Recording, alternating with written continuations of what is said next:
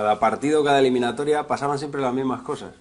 Perdíamos allí, estábamos hundidos en el vestuario, ya entraba Juanito y Camacho te agitaba. ¿Cómo has permitido eso? Allí no lo puedes permitir. No te ya era como.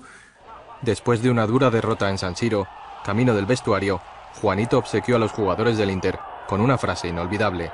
90 minuti en el Bernabéu son molto longhi. Lo eran. Aquellas noches permanecen en la memoria de una afición que acudía convencida de que presenciaría lo imposible. Media hora antes de empezar el partido, toda la plantilla estaba convencida de que nos clasificábamos. En ese pasillo que todavía existe, con esa reja aquí, y, y le decían de todo. No, mata, escupían ahí al suelo. Me acuerdo que ya Juanito se tiraba contra la gente. Al contrario, le miraba como diciendo: hombre tan bajito, ¿cómo es posible que sea capaz de transmitir eso? no?". El Madrid aplicó la misma receta para ganar 15 eliminatorias consecutivas y hacerse con dos copas de la UEFA. Los primeros 10-15 minutos eran importantísimos, ¿no? La primera falta, el primer tiro, la primera presión al árbitro. Había que ir con todo a por ellos para que vieran que eso no iba en broma. Daba igual haber caído por dos o más goles en la ida.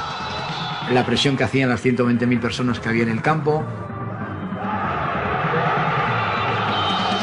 Felicito a todo el público porque hoy ha estado sensacional y creo que si nos apoya así constantemente, creo que Madrid puede aspirar a todo.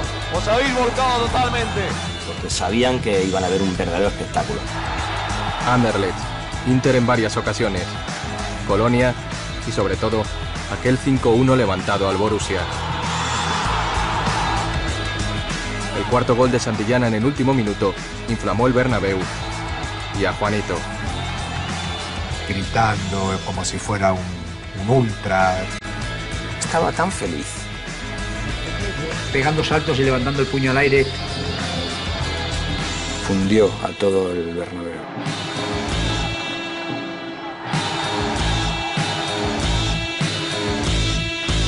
A esas alturas, el resto ya sabía bien quién era Juanito. Un carácter volcánico, capaz de discutir con cualquiera y pedirle perdón al minuto.